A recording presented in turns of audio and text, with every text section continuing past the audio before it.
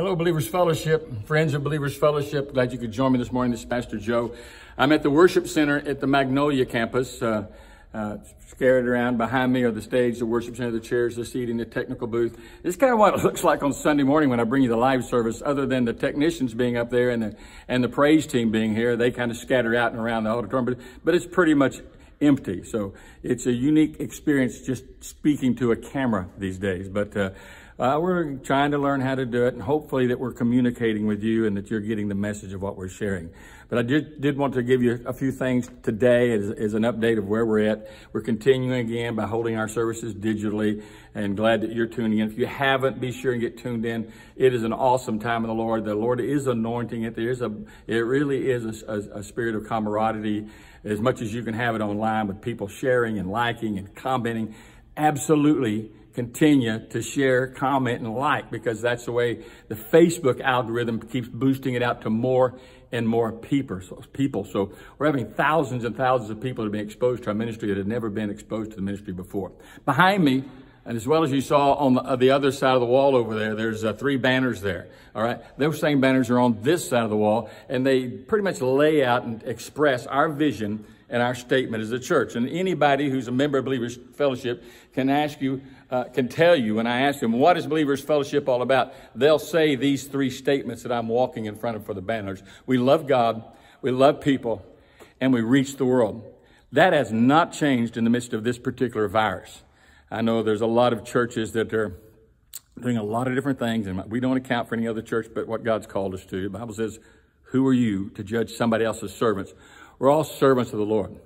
So as people make a lot of different decisions, God is moving us in a very clear path of being more committed, more dedicated, and more creative than we've had to be at times past because we're having to reach out on a lot of different levels and God has really been leading us and guiding us in some really unique and incredible ways. We're still ministering to people. We're not, we're not st stepping away from ministry. We're still supporting missionaries.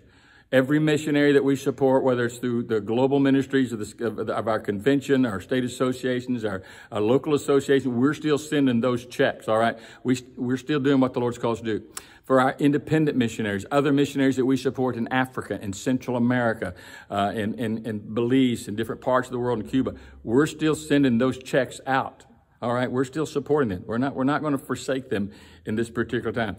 I know in America we're having difficulty, but there's some parts of the world, third countries in the world that are having even greater difficulties. So we continue to minister. Let's all continue to do what God's called us to do. We've had to obviously push some of the, the, the ministry trips for like Cuba and Central America and Belize to farther in the year.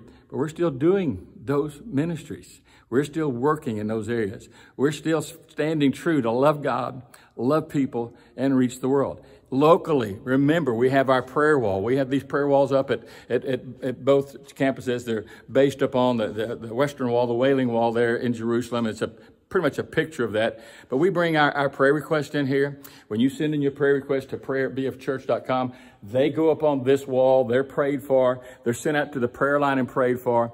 Anybody can come by anytime and stand in front of the, our prayer wall here and pray. If you can't get to the church, we, oh, yes, we practice social distancing. If someone's in, give them space, move to another place. Or, so that's all going on.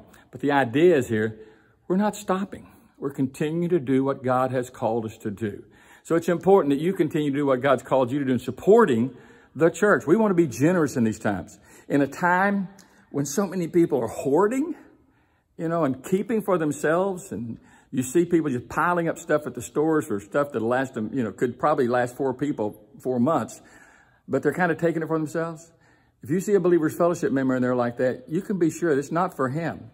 They've learned how to be generous. They've learned how to give. And they're shopping for somebody that can't get out and shop. And they're helping somebody that can't do it. We've delivered groceries from my household to other families. So many of you have as well. We have a food pantry that is still working. If you've been displaced from your job or furloughed or whatever, Take no shame. That's this that that food pantry at Believers Fellowship is there for that purpose. Let us know. We'll work an appointment out. We'll, we'll get together what, what are your greatest needs from the pantry. What we have, we'll share. We're having people that are going out in, in other food pantries in the community that are participating with us. So this ministry is here for you. We continue to share in our benevolence funds to reach out and help people to meet their needs. So we're not cutting back. This is not a time for any of us to do that. I, have watched the news and, I, and I've seen, you know, uh, uh, how they're going and talking to mental health experts because so many people, like 36, 37% last week, said that they were living in depression. And I've listened to the, the experts give their recommendations to, to people about what they should do and how they should handle their problems. And one of the thought interesting, one of the number one uh, counsels that are given by these people always starts out with this. Well, you've got to, you've got to love yourself. If you're in depression, if you're in anxiety, if you're in fear, then you, you've got to, you got to love yourself and you, you got to, you know, you got to, you, you got to put yourself first and you got to, you got to think of yourself first and you got to, you got to be kind to yourself and be compassionate to yourself. And well, let me tell you, folks, that may all be well and good, but that's at the bottom of the list in the Bible. The top of the list in the Bible is love God, love people before yourself, more than yourself. That's where it starts. Get your attention. If you're living in fear, your job, or anxieties, or the, the, the, getting the virus, you need to set your heart and your mind on things above, the Bible says and that you fill your heart and your mind with, with His promises to you and His word to you. Then you look for a way to reach to, out to somebody else. Find somebody else that's anxious. Find somebody else that's living in fear. Find somebody else that's having the same kind of issues you have and give to them. Well, the promise of Luke 6.38 is broad and wide and universal. It says, give and it shall be given unto you. Pressed down, shaken together, and running over shall men give into your bosom. So give. Don't, in times of difficulty, that's not the time to hoard and be greedy and self and self-centered and selfish. It's the time to care about other people. That's what Jesus has given us. That's what he's taught us. That's what he did. He didn't come to, to, to, to, to be master, it says. He came to serve. That's where our life should rest. How are we going to serve those around us? How are we going to love those around us? Well, enough preaching for right now. Let me tell you, I hope you had the opportunity to come by and get your cups. A lot of people have been coming to church and getting their communion cups for Sunday services. These are really cool. We ordered these right prior to the to the to the beginning of the outbreak because we knew something like this might happen. Uh, so that people couldn't get together.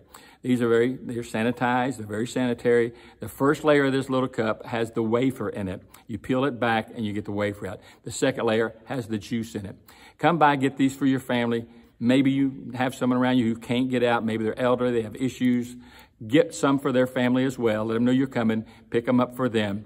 All right. And get some. And then have them ready at our Sunday service, which is going to be very, very cool. And it's going to be a tremendous blessing. So you don't want to miss Sunday services. We have lots of worship music going on and intermingled into all the worship. And the music is going to be the actual taking of the communion together. So if you can't get by and you have to prepare your own, then I would say just stick to the biblical pattern as much as possible. If you have grape juice or cran grape, if not any kind of juice extract from a, from a, you know, from fruit, like apple juice, whatever, get that out. Uh, if you, don't have that, then just get some soda, or, uh, but I recommend to do it close to the Bible as possible. And then a wafer, uh, which is basically unleavened bread, a cracker, a saltine, anything like that. Even a, a Dorito chip ultimately is unleavened bread. So, but get something like that, have it ready to share and to take, as we start at 9 a.m., with our communion service live. Be a part of it. And when you get online, let us know you're online. It's important that you just, whether it's a thumbs up or an amen or a praise the Lord or how y'all doing today, uh, comment. Let us know that you're there. And then even as important as, as caring, as sharing and liking and commenting is, is to just make sure that you're not doing this by yourself. That you, you let other people know. Uh, let people know that you're going to be viewing on Sunday morning. Send your friends a link. Uh, send an email out. Send a text out. But check on each other, love each other, invite each other, and care for each other. And let's just do what we've been talking about for the last 30 some 40 years as a church. We love God. We love people. And we're here to reach the world. God bless you. And I will see you Sunday morning.